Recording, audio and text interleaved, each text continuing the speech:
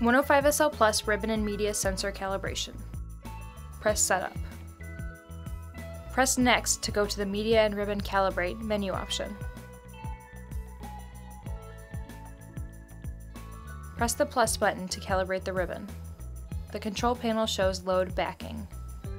Open the media door. Open the printhead. Remove the labels from about 8 inches or 200 millimeters of the liner.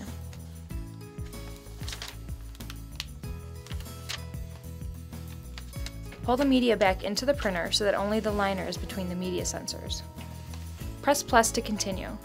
The control panel will show Remove Ribbon. Move the ribbon to the side. Close the printhead. Press plus to begin calibrating the media. The control panel will show Calibrating. Please wait. Wait until the control panel changes to Reload All. Open the printhead. Adjust the media and ribbon.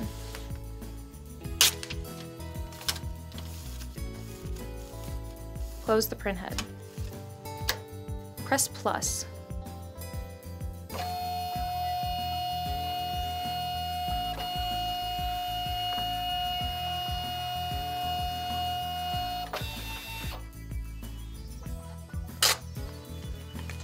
Press Setup Exit, then Next Save to save your changes.